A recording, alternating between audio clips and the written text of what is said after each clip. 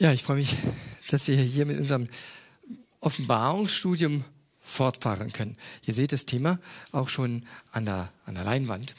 Ein Begriff, der ja eigentlich auch in aller Munde ist, insbesondere der Christen, selbst wenn sie von der Offenbarung keine Ahnung haben oder insbesondere, wenn sie von der Offenbarung wenig verstehen, ähm, ist dieser Begriff des Millenniums. Ein tausendjähriges Reich, ähm, doch immer wieder etwas, was bewegt wird, was Christen unterschiedlichen Meinungen ausgesetzt sind. Und letztendlich braucht man gar nicht darüber zu spekulieren. Denn die Bibel beschreibt diese Zeit sehr genau, sehr detailliert.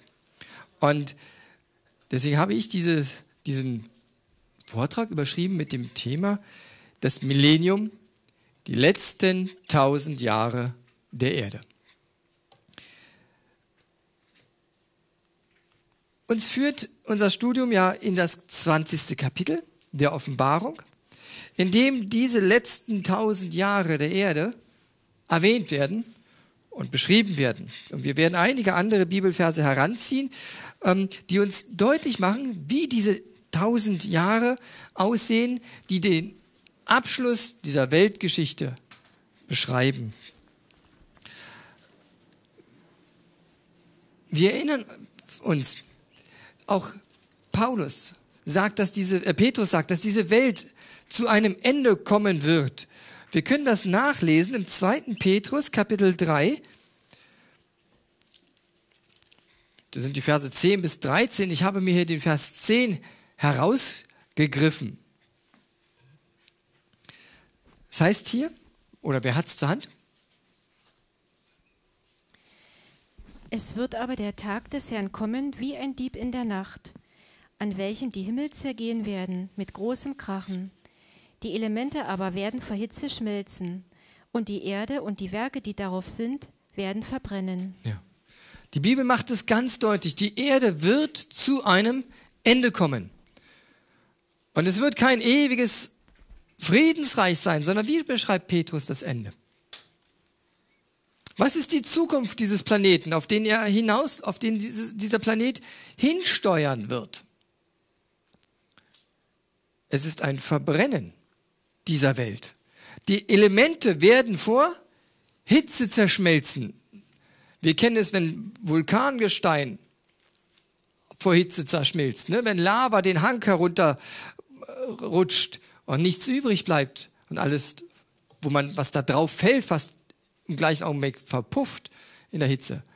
Aber wenn die Elemente anfangen zu schmelzen, sind ganz andere Hitzeelemente dabei. Die Erde wird vergehen.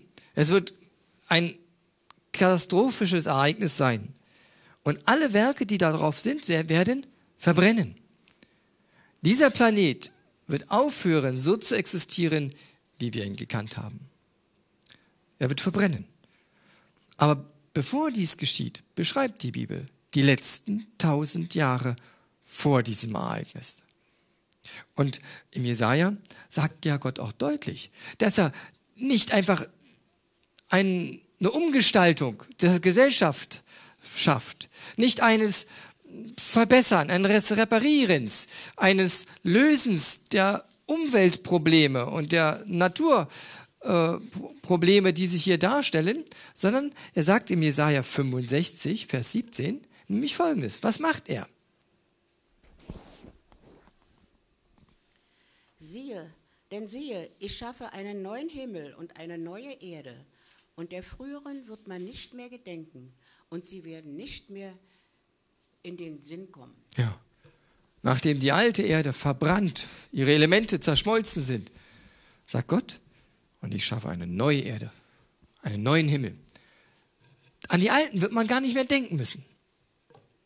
Aber bevor das kommt, davor liegen noch einmal tausend Jahre, die die Bibel beschreibt.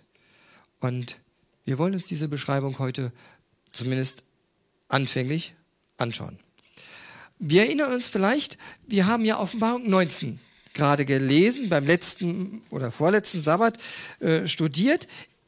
Und wir waren dabei, haben gesehen, wie Christus als König aller Könige, als Herr aller Herren, als Richter über diese Welt wiederkommt, mit dem Schwert in seiner Hand und die Völker richten wird. Und dieses Bild beschrieb doch deutlich die Wiederkunft Jesu und der alles Böse sein Ende finden wird. Und auch das fanden wir deutlich beschrieben unter dem Bild, das denn hier in der Offenbarung ab Vers 17, Offenbarung 19, Vers 17 gebraucht wird, wo hier ein Engel noch hinzutritt, der in der Sonne steht und über die und all die Vögel des Himmels beisammen ruft. Die Geier, die Adler, die Raben. Und sie einlädt, wozu? Zu einem großen Mahl, zu einem Festmahl für die Raubvögel. Und was gab es denn dazu, Leckeres zu fressen? Fleisch, ja? Das Fleisch der Großen. Von allen Menschen letztendlich, ne? Egal, wir haben ja die katastrophischen Ereignisse der Endzeit beschrieben, was alles untergehen wird, die Inseln verschwinden, die Erdbeben, die Feuersbrünste, Hagel wie Zentnerschwer, Asteroiden, Meteoriten, die auf diese Erde fallen, kann man darunter gerne sehen. Und dann kann man diesen Satz gerne dranhängen. Und die anderen, die übrig blieben, wurden erwürgt mit dem Schwert dessen, der auf dem Pferd saß und aus seinem, das aus seinem Munde ging. Und alle Vögel wurden von ihrem Fleisch satt. Kein schönes Bild, mag man sich nicht besonders vorstellen, aber so beschreibt Gott letztendlich das, was auf dieser Welt übrig bleibt. Ein Raub, ein Fraß der wilden Vögel. Und dann, das waren die Bilder sozusagen, mit denen uns Offenbarung 19 entlassen hat. Und nun ein anderer Blick, den Johannes erhält. Wir lesen jetzt gemeinsam die, Ver äh, die ersten Verse aus dem Kapitel 20, Vers 1 bis Vers 3. Und vielleicht kann ich die hinteren Bänke bitten, einmal Mikrofon mal nach hinten rein. Lothar, reicht mal das Mikrofon nach hinten. Und ich sah einen Engel vom Himmel herabfahren, der hatte den Schlüssel zum Abgrund und eine große Kette in seiner Hand. Und er ergriff den Drachen, die alte Schlange, das ist der Teufel und der Satan, und fesselte ihn für tausend Jahre. Und warf ihn in den Abgrund und verschloss ihn und setzte ein Siegel oben darauf, damit er die Völker nicht mehr verführen sollte, bis vollendet würden die tausend Jahre. Ja. Danach muss er losgelassen werden, eine kleine Zeit. Ja, vielen Dank. Hier finden wir diese tausend Jahre zum ersten Mal beschrieben. Und sie sind ein Inbegriff der Gefangenschaft in denen Satan gebunden ist mit Ketten, aus denen er nicht raus kann. Und was kann er nicht? Was tut er sonst gerne? Was hat er seit 6000 Jahren über diese Menschheitsgeschichte getan? Was war seine intensivste Aktivität? Ramona? Dietmar, kannst du das Mikrofon kurz nach hinten reichen? Das war seine beständige Arbeit, die Menschen zu verführen zur Sünde. Ja. Ne? Er war Tag und Nacht damit beschäftigt, seinem Leben noch eine Spanne nachzusetzen und die Zeit vielleicht noch zu verlängern und möglichst viele Menschen mit in den Ruin zu ziehen, um seine Schuldenlast vielleicht zu erleichtern. Und das war sein Treiben Tag und Nacht. Wir kennen das vielleicht, manch ein Rentner kennt, kann ein Lied davon singen, wenn er energisch gearbeitet hat, jahrelang einen Beruf mit Elan und Eifer betrieben hat und Hingabe und dann ist er aufs Altenteil gesetzt. Hat nichts mehr zu tun. Ja? Oder die Strafe, die ein Gefangener hat, der draußen sein Leben, auch wenn es ein verbrecherisches Leben war, eine Aktivität verbringt und jetzt im Gefängnis nichts mehr zu tun hat. Man mag ihn sich vorstellen, wie ein Löwen im Gefängnis herumzurennen. Ne? Diese Untätigkeit. Und er ist verbannt in diesem Abgrund und kann die Menschen nicht mehr verführen. Er kommt nicht mehr an sie heran.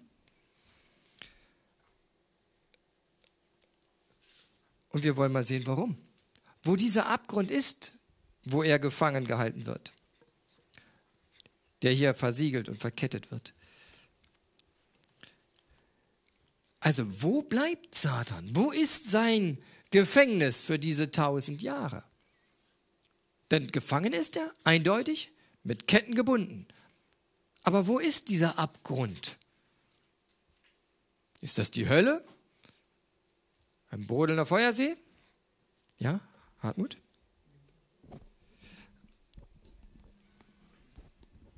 Es ist die, zerstör die zerstörte Erde, wobei es ja auch immer interessant ist, dass eben das Wort Abyssos mhm. für das Gleiche verwendet wird am Anfang der Bibel und auf dem, auf dem Dunkel der Erde, auf dem Abyssos war es dunkel und leer. Das ist das Gleiche nochmal verwendet worden, auch hier an dieser Stelle. Mhm. Ja. ja. Genau, das ist es. Die Bibel erklärt uns ganz genau, wo dieser Abgrund ist. Dieser Begriff Abgrund, der hier im Griechischen mit Abyssos der tiefe Schlund erklärt wird, den finden wir noch einmal an einer anderen Stelle. Wenn wir die griechische Bibel, die Septuaginta nehmen, das ist ja eine griechische Übersetzung der Bibel, dann finden wir genau diesen Begriff, ähm, wie Hartmut sagt, im ersten Buch der Bibel beschrieben. Im ersten Mose, wir wollen das mal aufschlagen, erste Buch Mose, Kapitel 1.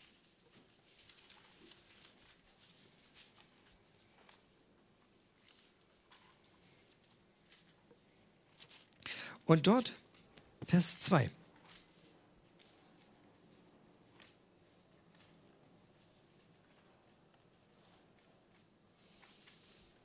Wer liest mal bitte? Mikro ist noch ganz hinten? Nee, schade. Und die Erde war wüst und leer, und es war finster über der Tiefe, und der Geist Gottes schwebte über den Wassern. Ja, die Erde war wüst und leer und der Geist, und das war finster auf der Tiefe. Und die Tiefe, das ist der Begriff, der hier verwendet wird, über dem Abgrund. Und der Geist Gottes schwebte auf dem Wasser. Hier wird dieser, upsala, nicht zu weit, der Begriff Abgrund verwendet. Und die Tiefe.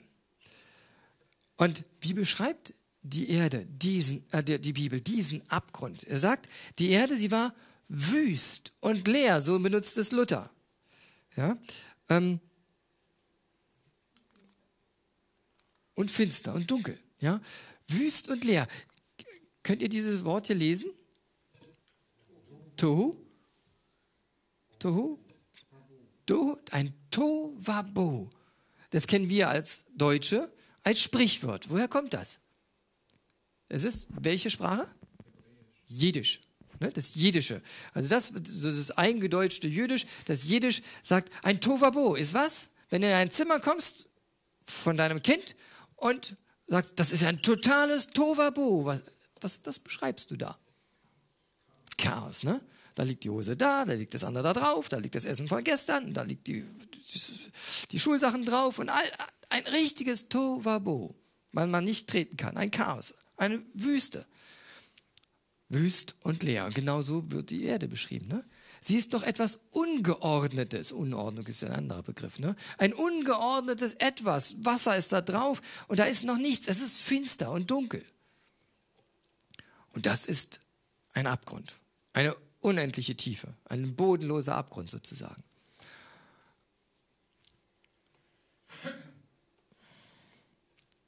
Das ist eine Beschreibung der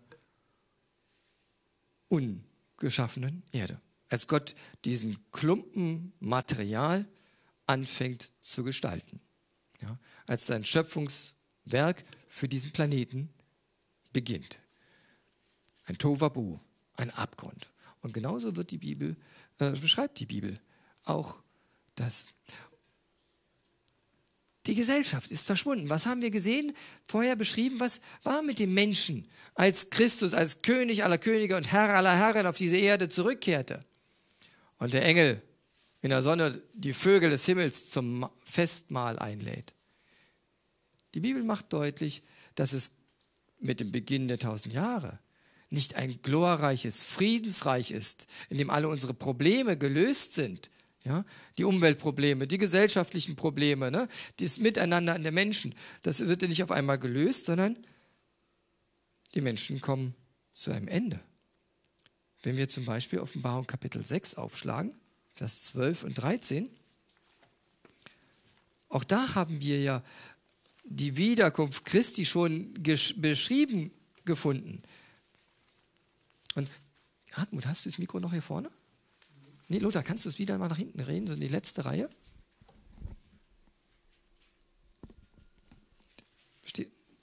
Offenbarung Kapitel 6, fangen wir mit Vers 12 an. Ihr könnt es von der Tafel ablesen. Dann können. Da steht das da, Verzeihung. Es geschah ein großes Erdbeben und die Sonne wurde finster wie ein schwarzer Sack und der ganze Mond wurde wie Blut und die Sterne des Himmels fielen auf die Erde. Und der Himmel wich wie eine Schriftrolle, die zusammengerollt wird, und alle Berge und Inseln wurden wegbewegt von ihrem Ort. Und die Könige auf Erden und die Großen und die Obersten und die Reichen und die Gewaltigen und alle Sklaven und alle Freien verbargen sich in den Klüften und Felsen der Berge und sprachen zu den Bergen und Felsen, fahrt über uns und verbergt uns vor dem Angesicht dessen, der auf dem Thron sitzt, und vor dem Zorn des Lammes. Es ist gekommen der große Tag des ihres Zorns, und wer kann bestehen? Ja. Die Wünsche dieser Menschen werden erfüllt werden. In diesem Erdbeben, wenn all die Berge aus den Fugen geraten, wenn die Inseln verschwinden, die Berge aus ihren Fugen gerissen werden, wenn Christus wiederkommt. Ist das der Schrecken, den die Menschen erleben werden? Und ein anderer Bibelvers ist 2. Thessalonicher 2, Vers 8.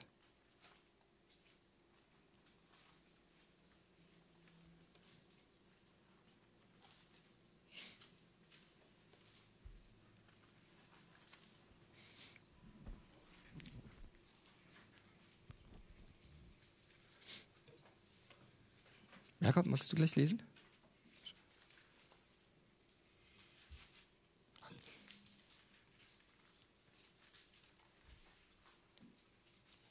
Also das wichtigste Instrument wäre jetzt das Mikrofon zum Lesen. Na, im Zweifelsfall steht es ja vorne dran.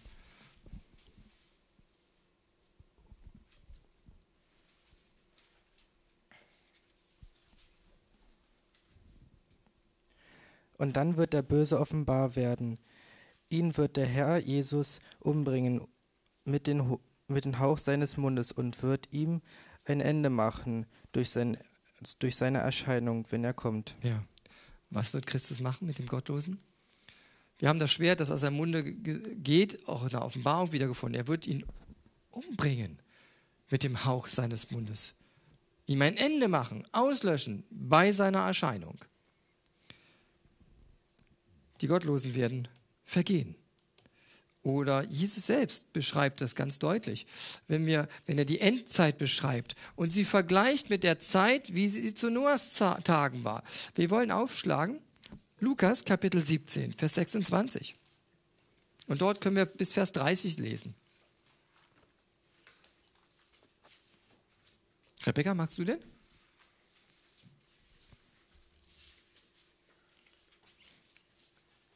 Du kannst hier nicht langhangeln. Ich klicke immer weiter.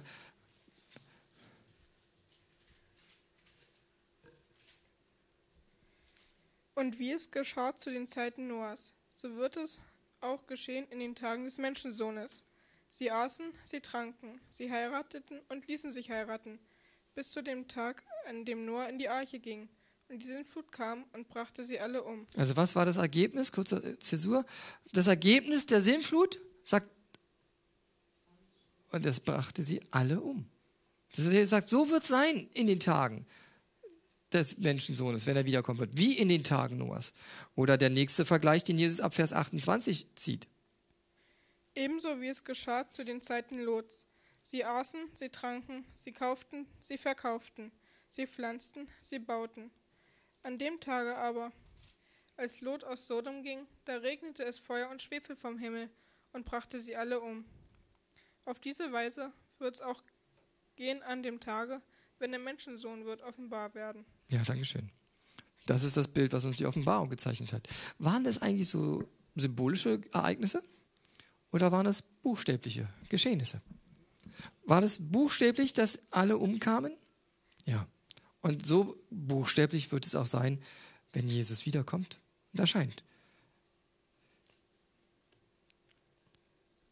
Ne? Wir erinnern uns ja an dieses Bild der Vögel. Und auch Jeremia greift das auf. Wir lesen mal, Jeremia 25, Vers 33.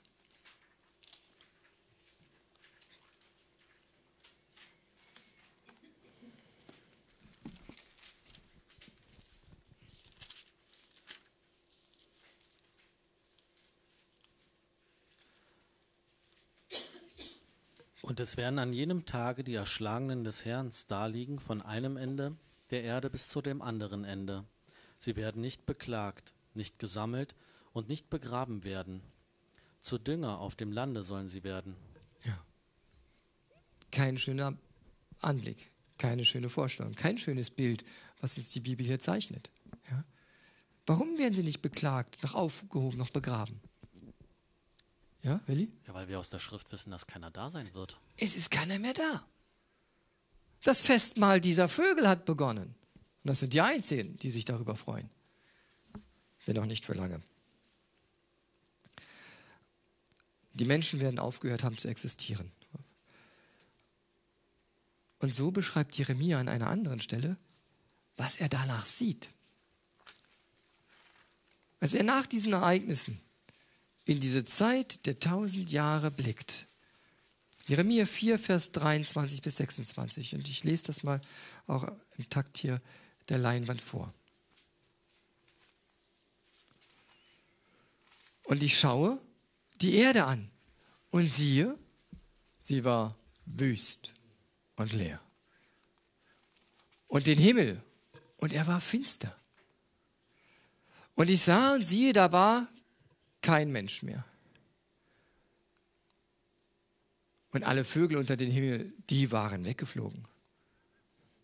Und ich sah und siehe, das Gefilde, die herrlichen Gefilde, waren eine Wüste. Und alle Städte darin waren zerbrochen vor dem Herrn und vor seinem grimmigen Zorn. Und ich sah die Berge an. Und siehe, sie bebten und alle Hügel erzitterten. Das ist die Beschreibung Jeremias, als er in diese Zeit blickt. Wir sehen alle Bilder, die wir und alle Dinge, die wir vorher betrachtet haben, wieder. Ne? Die Erde wüst und leer. Im Tovabo. Der Abgrund ist geöffnet. Und wir sehen kein Mensch mehr. Auch inzwischen sind die Vögel unter dem Himmel alle weggeflogen, weil es ist alles aufgegessen. Das Mahl ist beendet. Die Städte da drin, sie sind zerbrochen, verwüstet vor dem grimmigen Zorn Gottes. Und ich sah die Berge an, die bebten noch nach in ihren Grundfesten. Ein, wir kennen das ja, nach großen Erdbeben hat man oftmals Nachbeben. Ne? Das hören wir jetzt in den Nachrichten immer wieder. Die Erde bebt nach als Jeremia auf diese verlassene, verwüstete Erde blickt. Finster, wie am Anfang.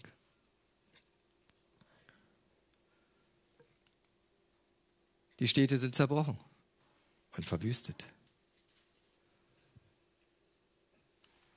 Noch einmal vielleicht Jeremia 24, Vers 21 bis 22. Äh, Jesaja, Verzeihung, das ist vollkommen richtig. Es ist Tatsache Jesaja. Zu der Zeit wird der Herr das Heer der Höhe heimsuchen in der Höhe und die Könige der Erde auf, auf der Erde, dass sie gesammelt werden als Gefangene in die Grube, verschlossen werden im Kerker und nach langer Zeit wieder heimgesucht werden. Das ist das Bild, was auch Jesaja zeichnet, was auch Johannes in der Offenbarung gezeigt wird. Gebunden im Abgrund, verschlossen, um nach langer Zeit, nach tausend Jahren, wieder losgelassen zu werden. Das sind die Weissagungen der Bibel. Und da ist Satan tausend Jahre gebunden im Abgrund dieses Planeten.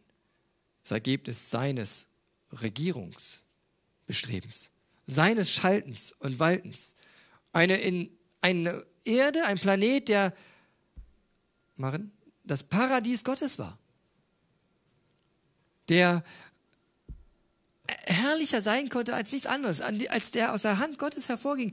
Die Morgensterne miteinander jauchzten und die Schöpfungsmacht Gottes priesen. Und die hatten schon einiges gesehen an der Schöpfungsmacht Gottes. Aber was ist von diesem Planeten übrig?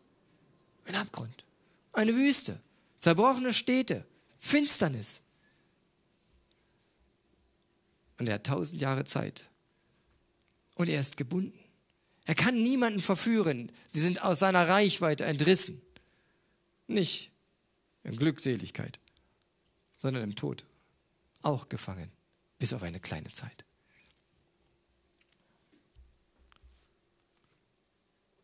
So wird er in den Abgrund geworfen. Ein Siegel obendrauf. Für tausend Jahre ist diese zerstörte Erde sein Heim. Wie sie es 6000 Jahre schon war. Aber wie hat sie sich gewandelt? In einen Abgrund, der ihn nicht mehr loslässt, aus dem er nicht entkommen kann. Aber tausend Jahre lang geht es nicht nur um diesen Planeten.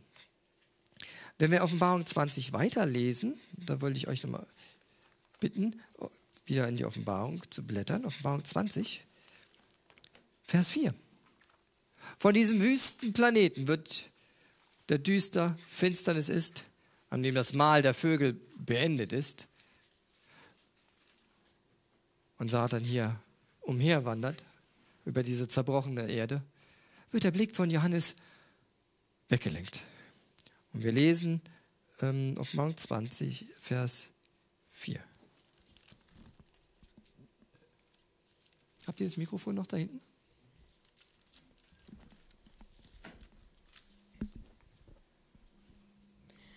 Ich sah Throne, und sie setzten sich darauf, und ihnen wurde das Gericht übergeben. Und ich sah die Seelen derer, die enthauptet worden waren, des Zeug um des Zeugnisses von Jesus und um des Wortes Gottes willen, und die nicht angebetet hatten das Tier und sein Bild, und die sein Zeichen nicht angenommen hatten an ihre Stirn und auf ihre Hand. Diese wurden lebendig und regierten mit Christus tausend Jahre. Ja. Der Blick geht weg von dem Gefangenen hin zu einem anderen Bild. Und er sah Throne und sie saßen drauf. Wer saß denn da drauf? Wer, ist, wer sind die sie? Er beschreibt es ja gleich, ne? Er hat sie vorher schon gesehen ein paar Mal.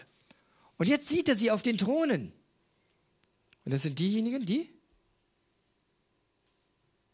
die Seele derer, die um das Zeugnis Jesus, um des Wortes Gottes willen, enthauptet wurden. Die Märtyrer, die wir schon vorher in Offenbarung gesehen haben, die unter dem, wisst ihr noch, das Bild von dem Altar, wo die Seelen drunter waren und sagen, Gott, wie lange noch? Und da sagt Johannes, und da sehe ich sie, da sitzen sie auf den Thron. Und die, die das Tier nicht angebetet hatten, den Endzeitkonflikt, den Johannes noch gerade so miterlebt hat und in all seinen Schauerlichkeiten, da sind sie, die das Tier nicht angebetet hatten, noch sein Bild oder das Mahlzeichen nicht angenommen hatten, weder an ihrer Stirn, weder mit Überzeugung, noch als Opportunisten einfach nur mitgemacht haben, an ihrer Hand. Und sie lebten wieder und herrschten mit Christus tausend Jahre. Diese waren auferstanden, die Märtyrer. Ups, jetzt bin ich hier mal.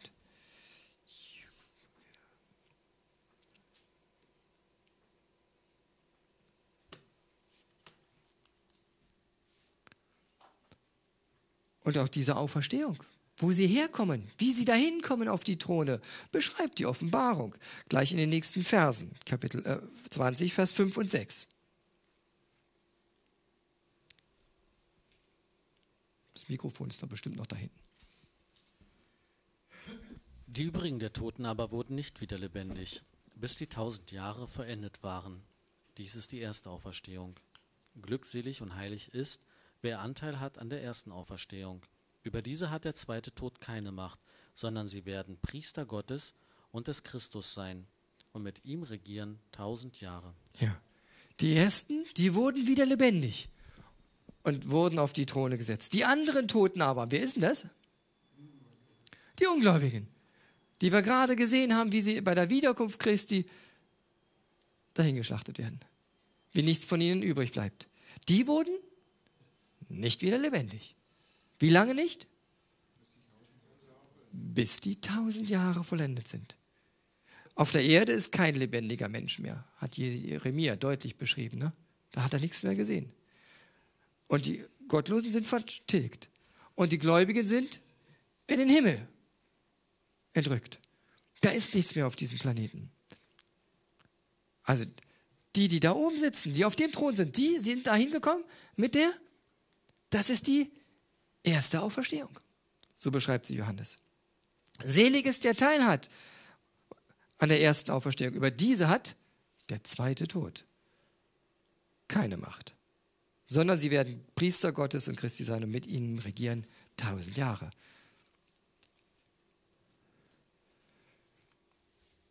Wenn Christus wiederkommt, werden nicht nur alles Böse auf dieser Welt ausgelöscht werden, nicht nur das Tier, der Antichrist, der falsche Prophet, der abgefallene Protestantismus, das Bild des Tieres, nicht all das wird nur vernichtet und die Anhänger dessen, sondern es geschieht noch mehr.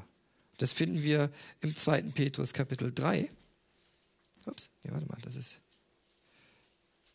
das äh, falsche Zitat. Das ist 2. Thessalonicher Kapitel 4. Äh, 1. Thessalonicher 4.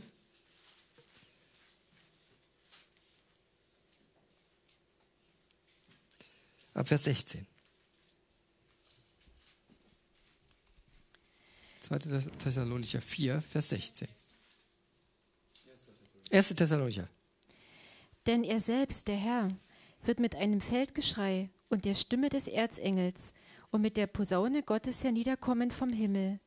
Und die Toten in Christus werden auferstehen zuerst. Danach wir, die wir leben und übrig bleiben, werden zugleich mit ihnen hingerückt werden in den Wolken, dem Herrn entgegen in der Luft, und werden so sein bei dem Herrn alle Zeit. Ja, so kommen sie dahin, auf diese Throne. Das ist die erste Auferstehung. Das, die Wiederkunft Christi, das, was für die einen ein Schreckgespenst ist, das Schlimmste, was ihnen passieren kann und ihnen letztendlich das Ende bereitet, ist für die anderen die Erlösung. Die rufen sie, das ist unser Gott, auf den wir geharrt und gehofft haben. Und nun sitzen sie dort auf dem Thron. Und es ist auch nichts Ungewöhnliches. Denn die Bibel hat vorhergesagt, dass sie dort auf diesen Thronen sitzen werden und herrschen. Dieser Begriff herrschen beinhaltet nicht nur einfach regieren, schalten und walten über eine abgefackelte Erde, über einen verruinierten Planeten, sondern sie sitzen auf Richtstühlen. Wir wollen mal lesen 1. Korinther 6, Vers 1 bis 3.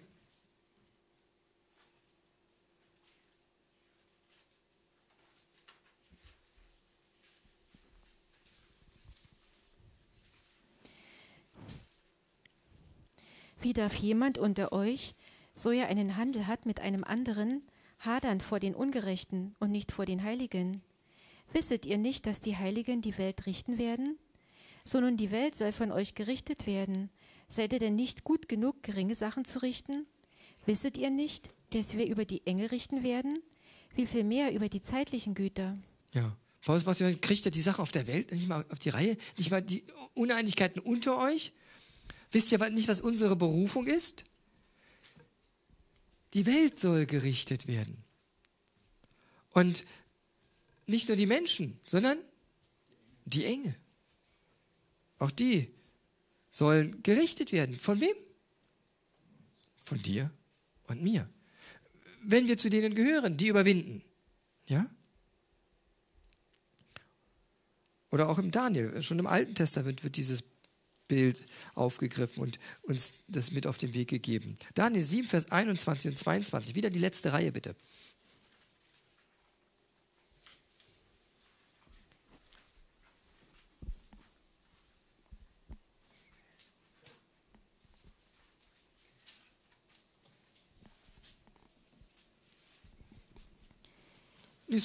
Ich sah, wie dieses Horn Krieg wieder die Heiligen führte und sie besiegte, bis der Alte an Tagen, an Tagen kam und das Gericht den Heiligen der höchsten Örter gegeben wurde.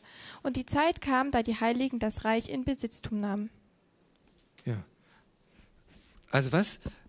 Er sieht das Horn Krieg führen, wir sehen den Endzeitkonflikt, den Streit, ja, das, der Antichrist unter dem Bild. Und wem wurde das Gericht übergeben letztendlich? Den Heiligen. Ne? Und das ist ein Begriff, den die Bibel immer wieder für die Kinder Gottes anwendet.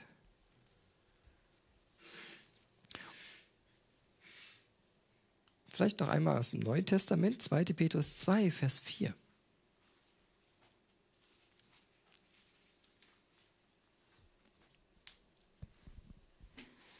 Auch hier sieht Gott, Petrus das schon voraus.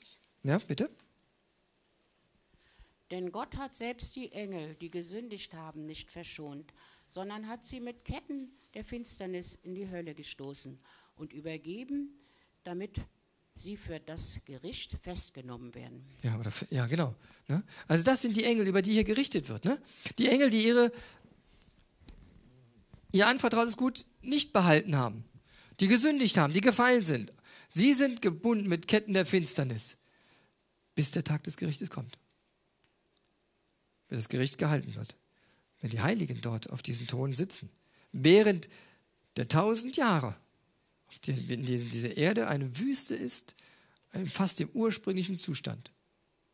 Noch schlimmer eigentlich, ne? Nicht nur ein ja, gestaltlose Masse an Materie, sondern ein völlig verwüsteter, zerstörter Planet, in dem die Städte zerstört sind, die Nachbeben noch über die Erde hallen. Das ist das Gefängnis, wo sie bis zum Gericht aufbewahrt werden. Ja, noch einmal, Judas. Das sind, die Bibel ist ja relativ deutlich da. Ne? Also es gibt ja manche Sachen, wo man sagt, das muss man erstmal deuten, aber das, da ist die Bibel wirklich Klartext, wenn wir sie nur beim Wort nehmen. Letzte Reihe bitte wieder. Judas 1, Vers 6.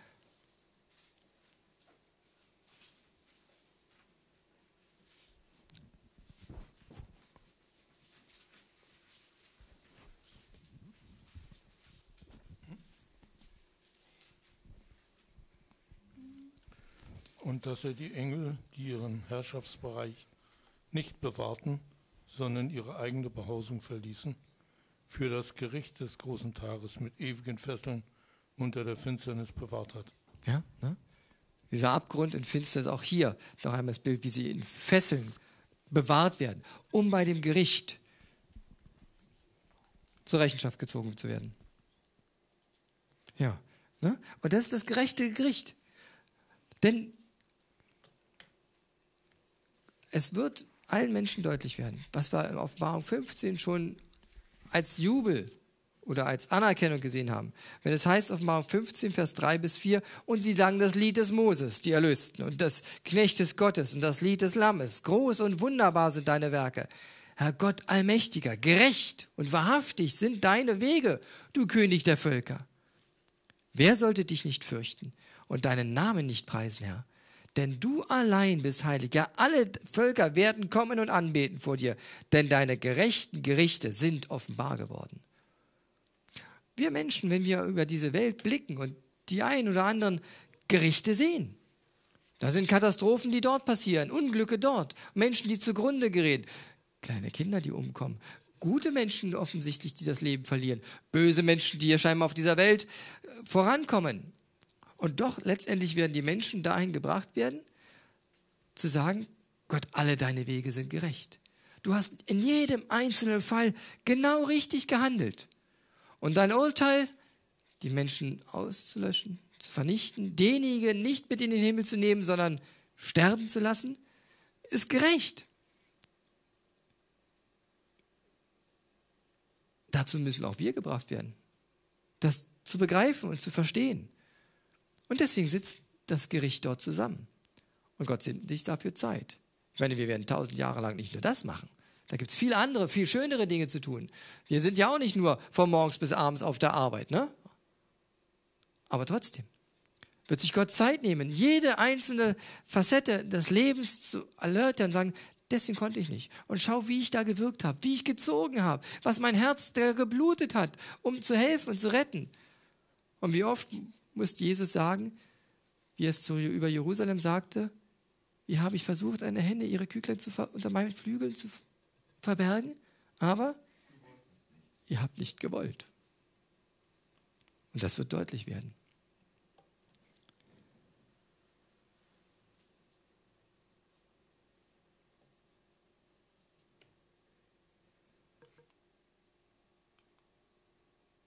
Ja, das ist die erste Auferstehung der Gerechten, der Geretteten. Über die hat der zweite Tod keine Macht. Hat der Tod Macht über die Gerechten? Ja, ja, schüttel nicht den Kopf. Was ist das, Le das, Schicksal der meisten Gläubigen? Wie aller Ungläubigen? Sie werden einmal sterben. Ne? Aber da sagt Jesus, macht euch keine Bange, das ist nur ein Schlaf. Ne? Lazarus, der schläft doch nur. Für Lazarus war das wie ein Schlaf. Der hat nichts mitbekommen von den drei Tagen im Grab. Da waren die alle sehr scharf darauf, deswegen hat er so große Menge versammelt. Was hat er zu erzählen über die Tage da, als er da tot war? Über das Totenreich? Nichts, kein Wort, keine Silbe. Weil er sagt, war dunkel, nichts habe ich mitgekriegt. Ich bin eingeschlafen und dann habe ich Jesu Ruf gehört. Und dann bin ich aufgestanden, gewundert, dass ich nicht so richtig laufen kann und stand in dieser Höhle. Er hat nichts von den drei Tagen mitbekommen, wo ich den roch. Ne? Aber der zweite Tod, das ist kein Schlaf, wo man schön hineingewiegt wird. Über den, über diesen, dieser Tod hat über diese Gläubigen, die da auferstanden sind, keine Macht mehr. Ups, bin ich jetzt zurückgesprungen, Verzeihung.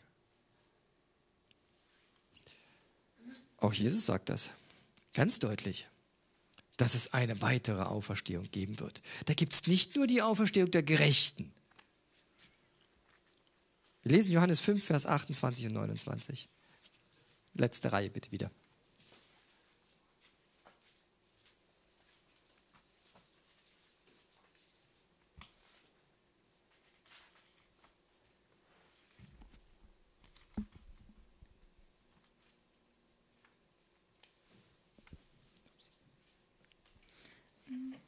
Wundert euch nicht darüber, denn es kommt die Stunde, in der alle, die in den Gräbern sind, seine Stimme hören werden und werden hervorgehen, die Gutes getan haben zur Auferstehung des Lebens, die aber Böses getan haben zur Auferstehung des Gerichts. Ja, danke schön. Da ist die Auferstehung des Lebens. Johannes sagt, das ist die erste Auferstehung. Und dann gibt es noch eine Auferstehung des Gerichts. Das sind die, über die der zweite Tod herrschen wird.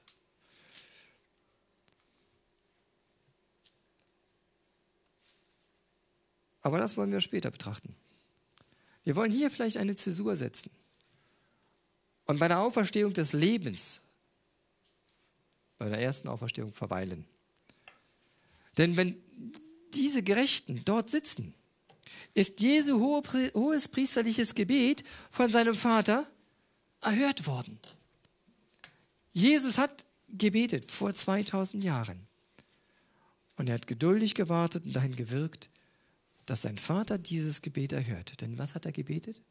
Johannes 17, Vers 24, wer liest das bitte?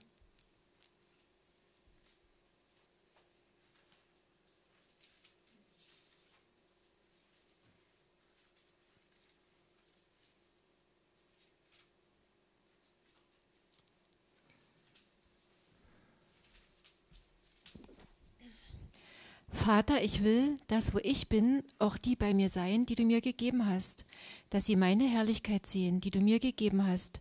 Denn du hast mich geliebt, ehe denn der Welt Grund, ehe denn die Welt gegründet ward. Ja. Was ist Jesu größte Sehnsucht? Vater, ich will, dass die bei mir sind, die du mir gegeben hast. Wie lange hat Jesus auf die Erhörung dieses Gebetes warten müssen?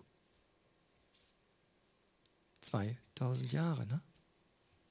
Wir müssen auch manchmal auf die Hörung unserer Gebete warten, geduldig warten, vielleicht dahingehend wirken, im Gehorsam Gottes Wege gehen. Wird er versagen darin? Er wird immer das Gebet beantworten, auch wenn es heißt, geduldig zu warten. Dieses Gebet ist jetzt erfüllt. Und auch dieses Versprechen, diese Verheißung Jesu, die er in Offenbarung 3, Vers 21 der letzten endzeitlichen Gemeinde gibt wird erfüllt sein. Wer liest Offenbarung 3, Vers 21? Letzte Reihe wieder, bitte.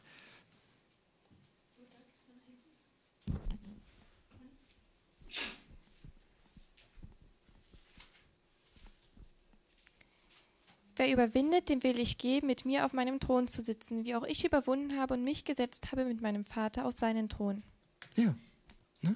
So wie Jesus sich auf seinen Thron setzt mit seinem Vater auf dem Thron gesetzt hat, so wird er auch uns auf seinen Thron setzen und mit uns, mit, was heißt denn das auf seinen Thron setzen? Es gibt ja nicht um ein Sitzplatzproblem, sondern es geht darum, dass wir die gleiche Position innehaben werden in einem bestimmten Bereich. Nicht werden wir die Herrscher des Universums sein, aber wir werden auf dem Richterstuhl mitsitzen, ja, wie wir es da beschrieben haben.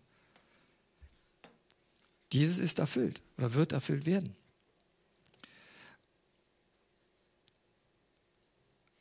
Auch diese tröstliche Weissagung aus Jesaja 54, Vers 15 und 17. Vielleicht auch die rechte letzte Reihe mal.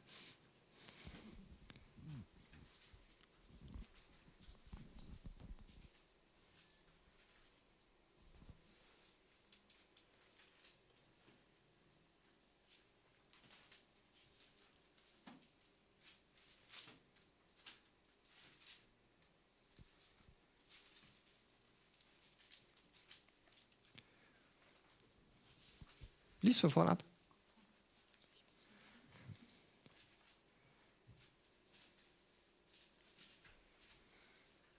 Siehe, wenn man kämpft, dann kommt es nicht von mir. Wer gegen dich streitet, wird im Kampf gegen dich fallen.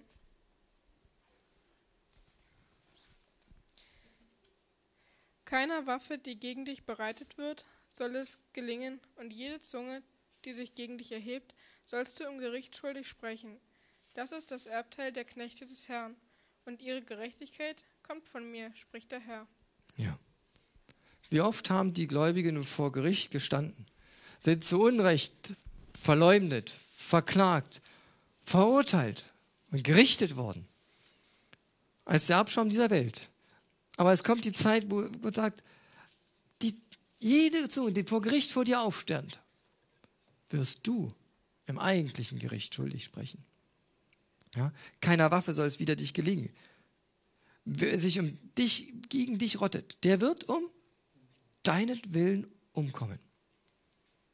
Hier erfüllt sich das in seiner weitesten Fassung und sagt, das ist das Erbteil der Knechte des Herrn und ihre Gerechtigkeit von mir aus, sagt Gott. Hier wird jede verunglimpfte Ehre, jede Verleumdung wieder ins rechte Licht gestellt werden. Jeder zerstörte und ruinierte Ruf wird wieder auf die Leuchter gestellt werden. Der Charakter wird so dastehen, nicht wie ihn die Welt sieht, sondern wie ihn Gott sieht, wie ihn der Herrscher des Universums sieht, wie es das ganze Universum gesehen hat und wird gerechtfertigt werden. Und sie werden teilhaben an dem Gericht. Den schuldig sprechen, der sie, der sie im Gericht verurteilte. So wie es bei Jesus ist. Ne? Jesus war einst im Gericht, stand er davor und wurde, war der Angeklagte, der Verhöhnte. Eines Tages werden seine Richter vor ihm als Richter stehen. Ja? Und genauso wird es auch den Gläubigen ergehen. Auch sie werden das erleben, dass sie eines Tages denjenigen als Richter gegenübergestellt werden, oder zumindest als Mitrichter, als Schöffe, wie man es auch bezeichnen mag, die sie auf dieser Erde verklagt, verhöhnt, verleumdet letztendlich verurteilt oder vielleicht sogar umgebracht haben.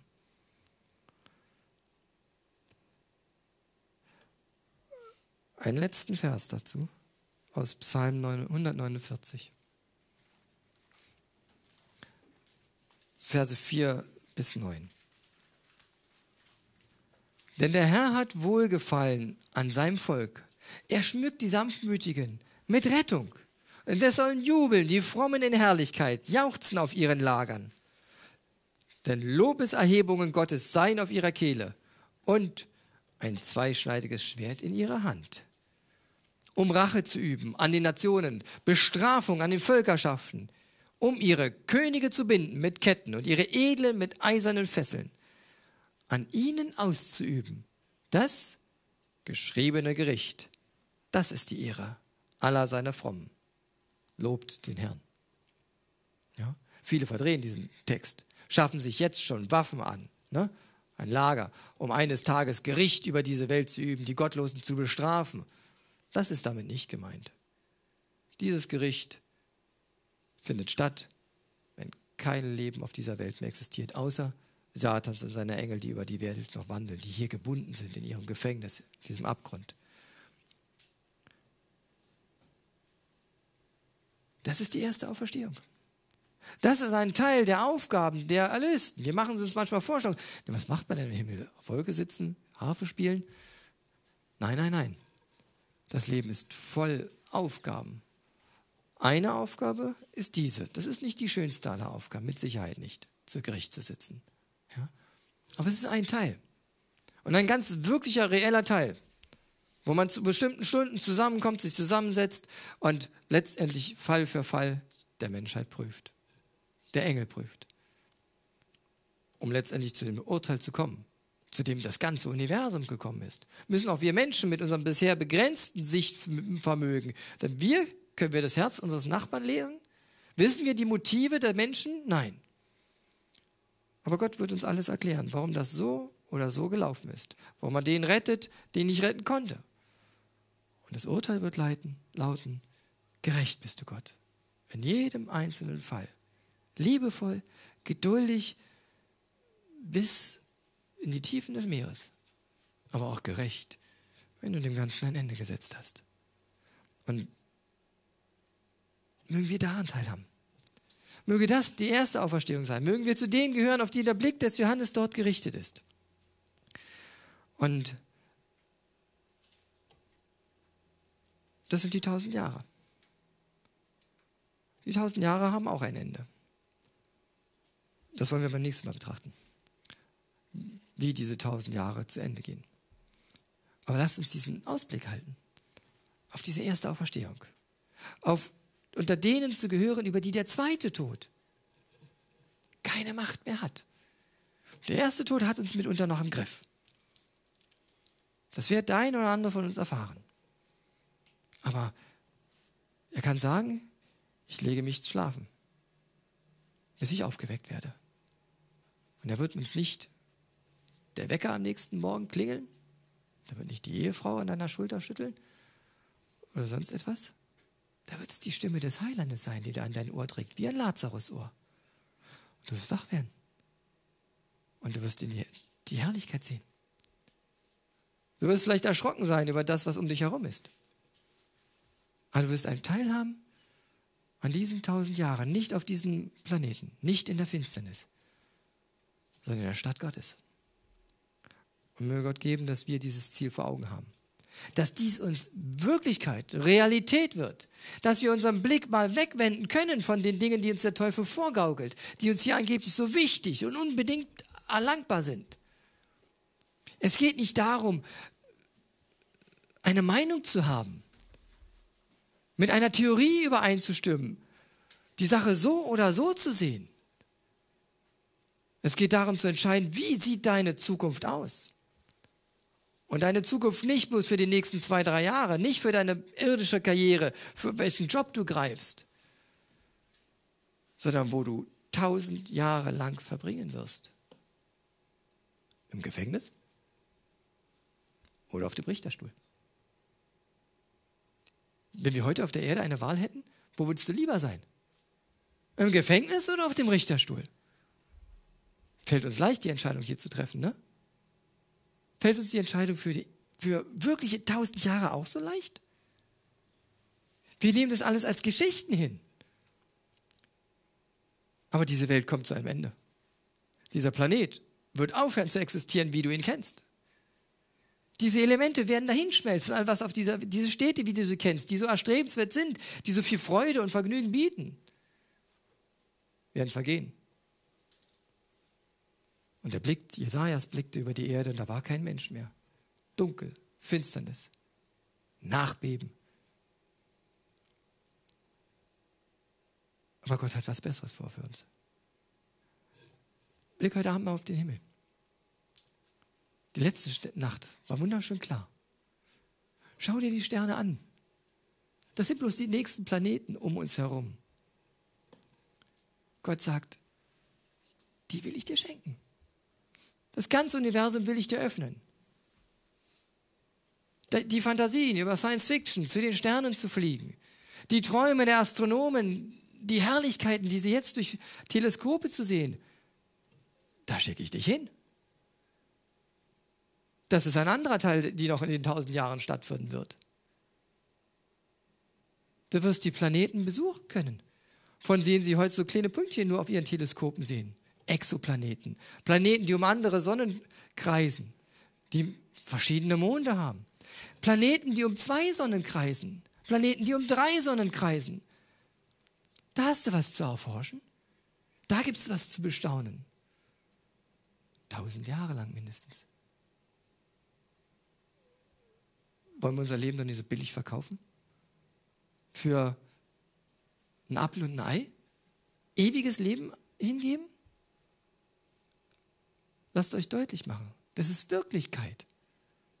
Und diese Welt, das Vergnügen dieser Welt ist zum größten Teil Schein und Trug, der vielleicht ein paar Wochen, ein paar Tage, ein paar Jahre hält und letztendlich nur noch übrig lässt in eurem Leben, was die Erde übrig lässt. Ein Abgrund, einen dunklen, finsteren Abgrund. Oh, schaut an die Sterne. Greift nach den Sternen. Denn Gott bietet sich euch an. Mögen wir die richtige Entscheidung Tag für Tag treffen. Amen.